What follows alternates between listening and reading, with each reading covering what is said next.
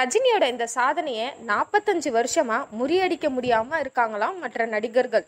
திரையுலகமே இதை திரும்பி பார்க்குது. தமிழ் சினிமாவில் நம்பர் ஒன் ஹீரோவா வலம் வருபவர் சூப்பர் ஸ்டார் ரஜினிகாந்த். இவர் நடிப்புல இளம் இயக்குனர் நெல்சன் திலீப் குமார் உருவான ஜெயிலர் திரைப்படம் ஆகஸ்ட் பத்தாம் தேதி சுமார் நாலாயிரத்துக்கும் மேற்பட்ட திரையரங்கில் வெளியாச்சு.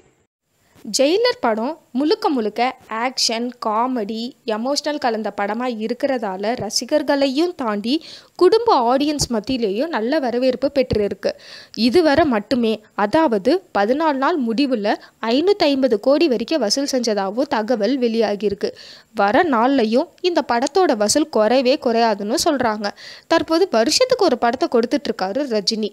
ஆரம்ப காலகட்டத்தில் வருஷத்துக்கு மூணு நாலு படத்தில் நடிச்சிட்டு இருந்தார் இப்படி ஓடிட்டு இருக்க ரஜினி. ஆயிரத்தி தொள்ளாயிரத்தி எழுவத்தெட்டாம் ஆண்டு மட்டும் சுமார் இருபத்தொரு படத்தில் நடிச்சிருக்காரு. அந்த ஒரு வருஷத்தில் தமிழையும் தாண்டி தெலுங்கு கன்னடம் போன்ற மொழியிலையும் நடிச்சிருக்காரு. இந்த இருபத்தொரு படத்தில் அவர் ஹீரோவாகவும் வில்லனாகவும் இரட்டை கதாபாத்திரமாகவும் நடிச்சிருக்காரு. அதில் இவர் நடித்த காளி படம் வெளிவந்து வெற்றி பெற்றது மட்டும் இல்லாமல் அவருக்கு பல விருதையும் வாங்கி கொடுத்துருக்கு. இந்த சாதனையை இனி நடிகர் ரஜினியே நினைச்சாலும் முறியடிக்க முடியாது. மற்ற நடிகர்களாலும் இனிமேல் முறியடிக்க வாய்ப்பே இல்லைன்னு சொல்லப்படுது. இந்த தகவலை சூப்பர் ஸ்டார் ரஜினியோட ரசிகர்கள் சோஷியல் மீடியா பக்கத்தில் ஷேர் பண்ணிட்டு வராங்க. இதை பற்றி நீங்கள் என்ன சொல்கிறீங்கன்னு கமெண்ட்ஸில் ஷேர் பண்ணுங்கள்